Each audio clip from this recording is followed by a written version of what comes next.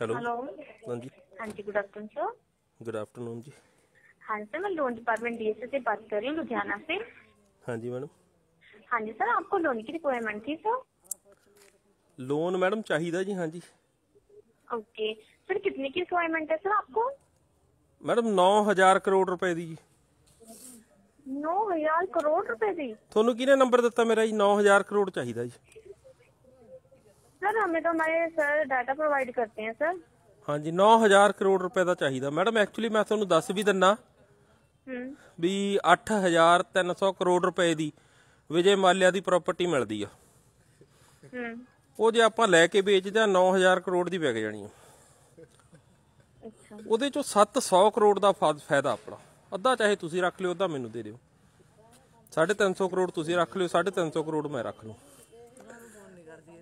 ਅੱਡੇ ਕਿੱਦਾਂ ਸਰ ਮਤਲਬ ਕਿ ਸਮਝ ਨਹੀਂ ਆਇਆ ਜੀ ਮੈਨੂੰ ਕਲੀਅਰਲੀ ਤੁਸੀਂ ਮੈਂ ਤੁਹਾਨੂੰ ਕਲੀਅਰ ਸਮਝਾਉਣਾ ਵਿਜੇ ਮਾਲਿਆ ਨਾ?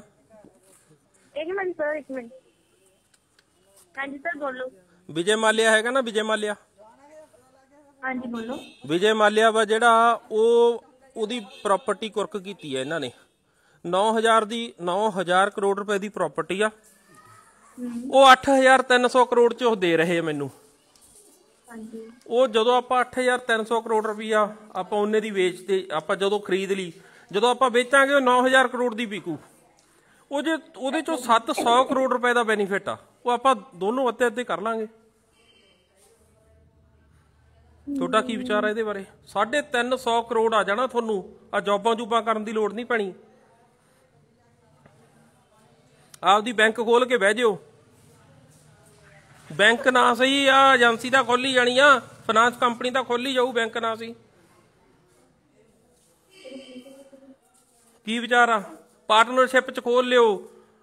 350 ਚੋਂ 200 ਕਰੋੜ ਰੁਪਇਆ ਮੰਮੀ ਡੈਡੀ ਨੂੰ ਦੇ ਦਿਓ 150 ਕਰੋੜ ਮੇਰਾ 150 ਕਰੋੜ ਤੁਹਾਡਾ 300 ਕਰੋੜ ਰੁਪਏ ਦੇ ਵਿੱਚ ਆਪਾਂ ਫਾਈਨਾਂਸ ਕੰਪਨੀ ਖੋਲ ਲਾਂਗੇ। ਕਰਨਾ ਕੀ ਪੈਣਾ ਸਰ ਇਸ ਦੇ ਲਈ ਮੈਨੂੰ ਜੀ? ਇਸ ਦੇ ਲਈ 8300 ਕਰੋੜ ਰੁਪਏ ਦਾ ਲੋਨ ਦੇਣਾ ਪੈਣਾ ਮੈਨੂੰ। ਸੌਰੀ ਸਰ ਮੈਡਮ ਥੋੜਾ ਬਹੁਤ ਘਟਾ ਲਓ 150 ਰੁਪਇਆ ਘੱਟ ਦੇ ਦਿਓ। ਸਰ ਪਹਿਲੇ ਇਹ ਤਾਂ ਦੱਸੋ ਨਾ ਤੁਸੀਂ ਕਰਦੇ ਕਿਉਂ ਹੋ? ਕੀ ਕਰਦੇ ਮੈਡਮ ਮੈਂ ਹੋ? ਇਹੋ ਜਿਹੀਆਂ ਡਿਸਪਿਊਟਡ ਪ੍ਰਾਪਰਟੀ ਚੱਕਦਾ ਜੀ। ਅੱਗੇ ਮੈਂ ਇੱਕ ਪ੍ਰਾਪਰਟੀ ਚੱਕੀ ਸੀਗੀ ਉਹਦੇ ਚੋਂ ਮੈਨੂੰ 70 80 ਹਜ਼ਾਰ ਕਰੋੜ ਬਚ ਗਿਆ ਸੀਗਾ। ਅੱਛਾ ਜੀ। ਡਿਸਪਿਊਟਡ ਪ੍ਰਾਪਰਟੀ ਨਹੀਂ ਚੱਕਦਾ ਮੈਂ। ਦੇਖੋ ਬਣਾਓ ਪ੍ਰੋਗਰਾਮ ਓਕੇ ਸਰ ਮੈਂ ਨਾ ਆਪਣੇ ਸੀਨੀਅਰ ਨਾਲ ਗੱਲ ਕਰਕੇ ਤੁਹਾਨੂੰ ਫਿਰ ਕੰਟੈਕਟ ਕਰਦੀ ਹਾਂ ਸਰ। ਜਰੂਰ ਜਰੂਰ ਦੱਸਿਓ ਮੈਡਮ ਭੁੱਲ ਨਾ ਜਾਇਓ। ਇਹ ਓਪਰਚੁਨਿਟੀ ਆ ਤੁਹਾਡੇ ਕੋਲੇ। ਸੀਨੀਅਰ ਨੂੰ ਵਿੱਚ ਪਾ ਲਿਓ। ਆਪਾਂ 700 ਕਰੋੜ ਦੇ ਤਿੰਨ ਹਿੱਸੇ ਕਰ ਲਾਂਗੇ। ਹੋਰ ਦੱਸੋ।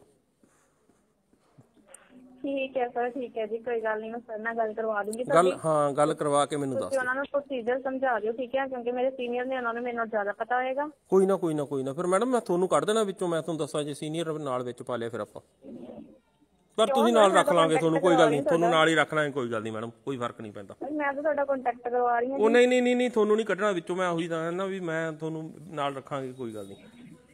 ਠੀਕ ਆ? ਜੀ ਜ਼ਿਆਦਾ ਨਹੀਂ ਥੋੜਾ ਬਹੁਤਾ ਦੇ ਦਿਓ ਮੈਡਮ 100 ਕਰੋੜ ਤੁਹਾਡਾ ਪੱਕਾ। ਜੇ ਸੀਨੀਅਰ ਨੂੰ ਵੀ ਥੋ- ਵਿੱਚੋਂ ਦੇਣਾ ਪੈ ਗਿਆ ਤਿੰਨ ਹਿੱਸੇ ਕਰ ਲਾਂਗੇ। ਮੈਂ ਆਪਦੇ ਨਹੀਂ ਦੇ ਦੂੰ 100 ਕਰੋੜ ਤੁਹਾਨੂੰ। ਓਕੇ ਠੀਕ ਠੀਕ ਹੈ। ਜੀ? ਠੀਕ ਹੈ ਸਰ ਕੋਈ ਗੱਲ ਨਹੀਂ ਜੀ ਮੈਂ ਤੁਹਾਡੀ ਗੱਲ ਕਰਾ ਦਾਂਗੀ okay okay okay madam okay. Thank you thank you madam. Thank you so much